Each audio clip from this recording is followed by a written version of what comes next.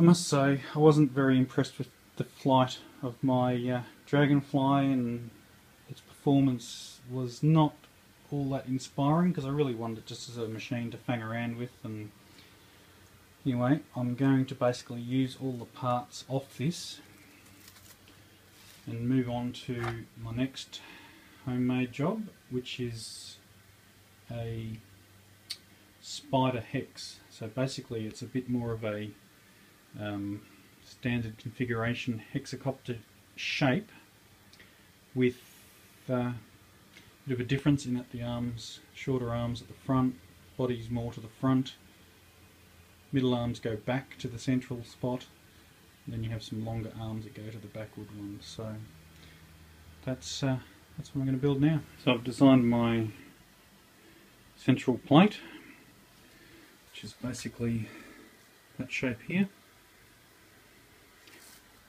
I've made it a little bit fatter at the back, centre way towards the rear, and that's your 60 degrees each way. So we'll uh, run the front arms from here out to, to wherever the end is. Basically it's a, going to be a 500 frame, so that's the start. So there's the first plate. I need a, I'm going to do three plates so that I've got a space to put the ESCs and the controller underneath where the arms all join up. I went out and bought myself this little this little saw because before I was using a full-on hand saw and it was a bit tricky with this uh, little ply. It was making a bit of a mess but I mean I got the job done but this is much nicer. This is a lot neater than my last one. So uh, here we go. Moving on. That's my three plates made. And I'm using this 18mm dressed quad to uh, do the arms. Same as this one.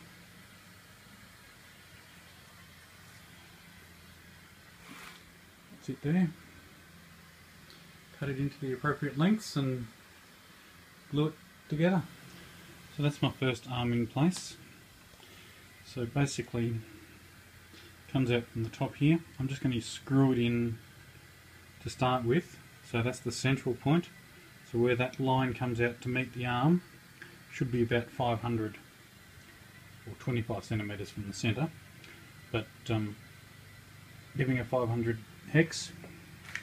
So we'll build it up from there. I'm just going to use screws to start and when I'm happy that they're all in the right place I'll glue it all up. So there it is when you run out from the centre along the 60 degree line 25 centimetres middle of the arm so it's screwed in from the other side so five more arms and we'll have a uh, hexacopter frame. And there you have the basis of the spider frame. So central point there, measure out along 60 degrees, 25 centimetres, middle of the boom.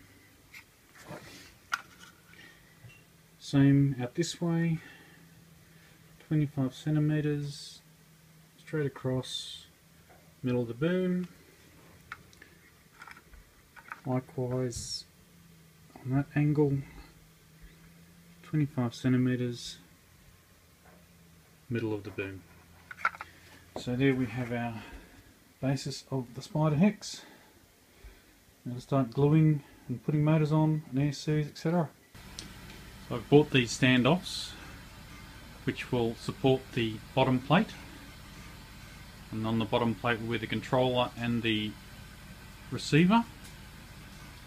And uh, I've screwed all the holes for the bottom plate to match up just by drilling through the top plate that the plate that's there the top plate's actually there which will be the battery.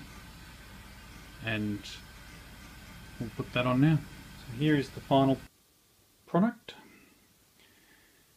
got the hex configuration. Pretty standard hex.